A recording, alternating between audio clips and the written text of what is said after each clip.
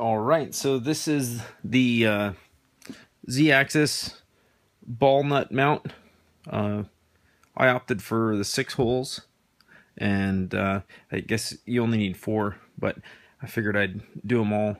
And I was doing the power tapping um, on the Bridgeport Tude, and I'm not that well, I'm new to it. I started doing it yesterday. So um, one of these guys, this one here, you can see I kind of pulled the top of the thread a little bit.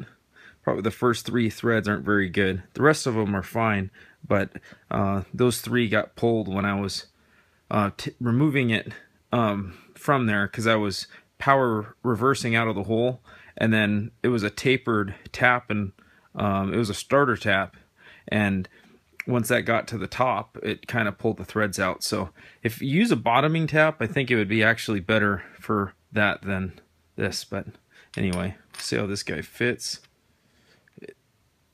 Now all of my ball nuts are ball, yeah, the ball nuts have been the same. They're looser here, and the actual diameter increases closer to this collar and uh, or shoulder, whatever you want to call that. So that's been kind of interesting. So at first you go to fit the thing on there and uh,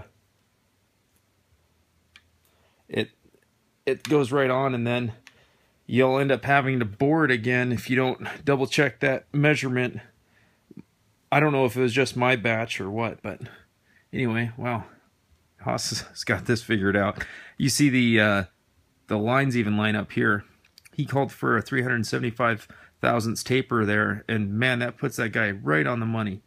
Uh, so pretty typical. All of his stuff has just been great so far. But cool looking mount, and let's see if the holes line up. Yes, they do. So, yeah, his uh, blueprints don't lie, and neither do digital readouts, provided you're doing your uh, math properly.